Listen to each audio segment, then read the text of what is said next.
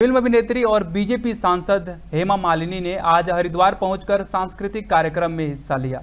दरअसल, निरंजनी अखाड़े की महामंडलेश्वर संतोषी माता के संन्यास के 50 साल पूरे होने के मौके पर चल रहे कार्यक्रमों में हेमा मालिनी के नृत्य नाटक का आयोजन किया गया, जिसमें सांसद हेमा मालिनी ने कनखल में मंच से गंगा नृत्य नाटिका की बेहद सुंदर प्रस्तुति दी। वहीं इस प्रस्तुति को देखने के लिए हज़ारों की तादाद में लोगों की भीड़ जुटी रही।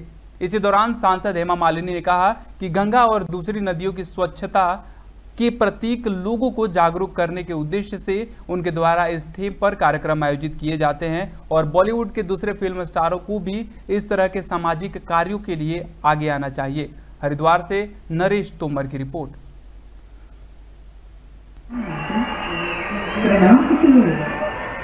यशस्वी भवपुत्री गंगे Την τάση. Ναι.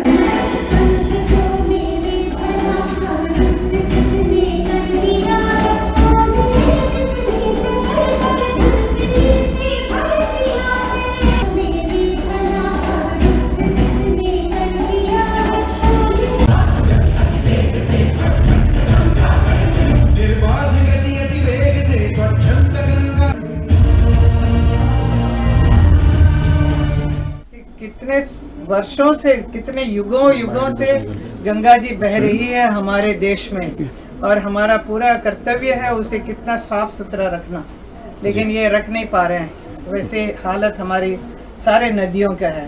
तो ये मैसेज इस इस नृत्य नाटिका द्वारा हम देते हैं कि हमारे देश में जितने भी नदियाँ हैं उसे सब साफ़ रखना हमारा कर्तव्य है। कर रही हूँ। मैं एक आर्टिस्ट हूँ।